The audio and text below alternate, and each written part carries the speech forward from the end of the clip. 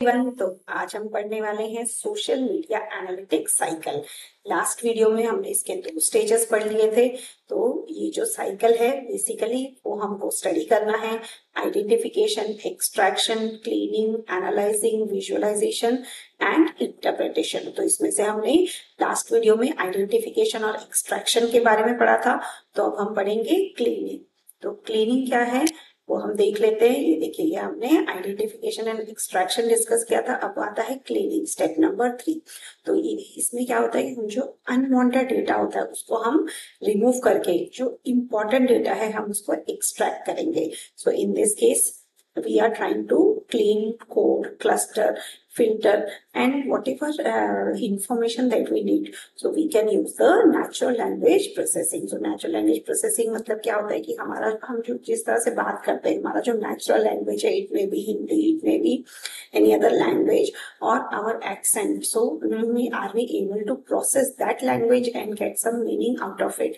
So NLP is working towards that and it has got very well advanced in understanding the human language. So coding and filtering can be performed by machines or it can be performed manually by humans. If it's a small data, then we can do it manually. But if it's a large data, then we have to do it with the help of programs. So mm, for example, this DiscoverText, it combined with the machine learning and human coding techniques to discover, code, cluster and classify social media data.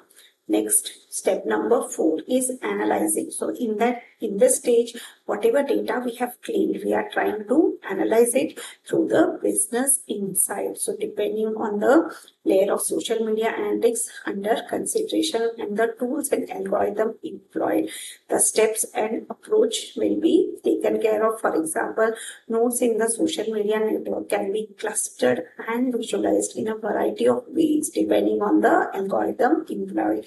So we can actually do our analysis based on which algorithm we have applied. So our overall objective at this stage is to extract meaningful insights without losing the integrity of the data. So we are applying a step-by-step -step procedure to analyze our data. Having the background knowledge and understanding the tools and its capabilities, we get do this. So hmm, if suppose a new product is launched in the market and we want to understand that whether the product is doing well or not in the market. So we have to understand this from the comments, from the tweets, from the mm, hashtags or whatever information that is available on the social media.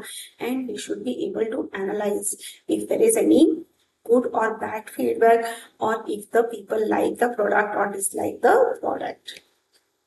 Now step number five is visualisation visualisation का मतलब है कि हम जो information है उसको graphically present कर रहे हैं in the form of bar chart pie chart then so it will add more value to our data because it is very easy to understand in a visualized format understanding the data so it is very important that we don't present it in the form of numbers but we present it in the form of charts graphs so it's very effective in analytics and uh, particularly help the complex and huge data to be represented in a very easy fashion. So we can actually identify patterns, we can identify the relationships and trends.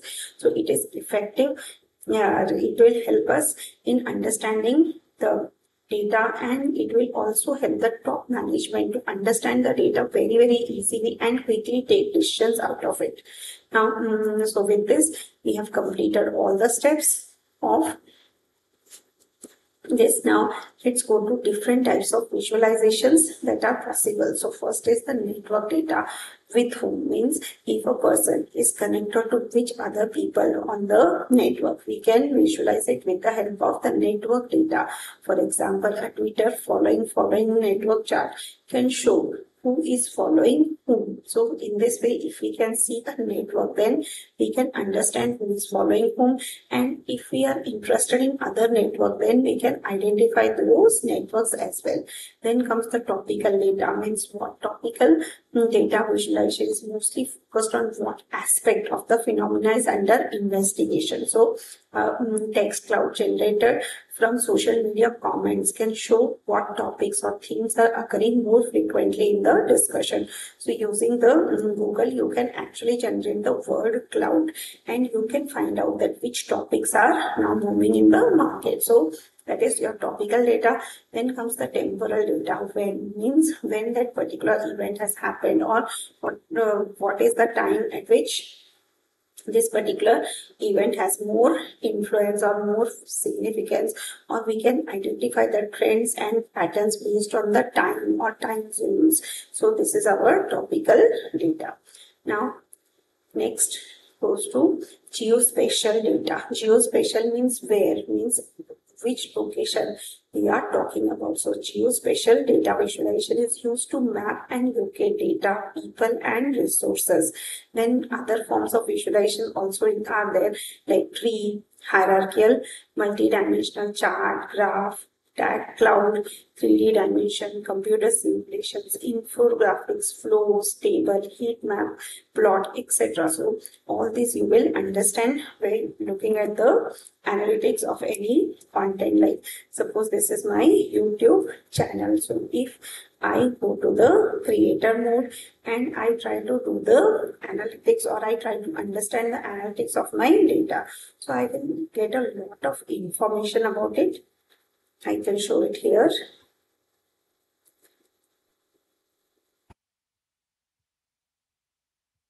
So uh, you can see any content and you can understand its analytics. So here I don't have much of content but you can view other playlists so where I have lots of views we can go to that particular content and we can view the analytics. So it will give us a lot of information. Now step number six is interpretation. So interpretation is translating analytical results into meaningful business problems. That is, anal interpretation means based on the interest of the people. Are we able to make some changes in our product or what should be the next product that should be launched in the market or which feature should be added.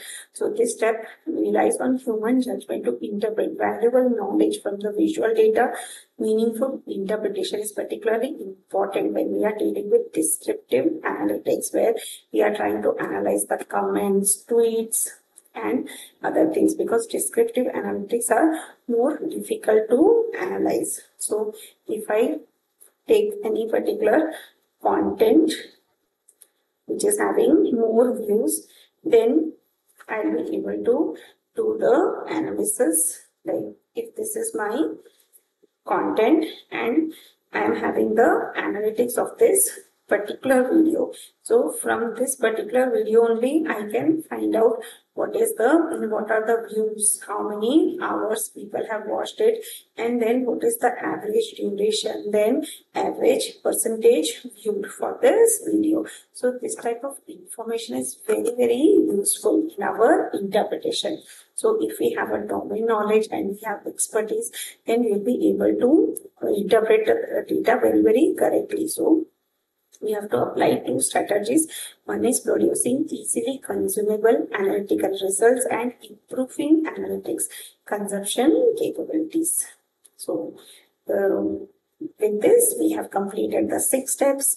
We will be, next video, we will be studying about the challenges to social media analytics. Thank you.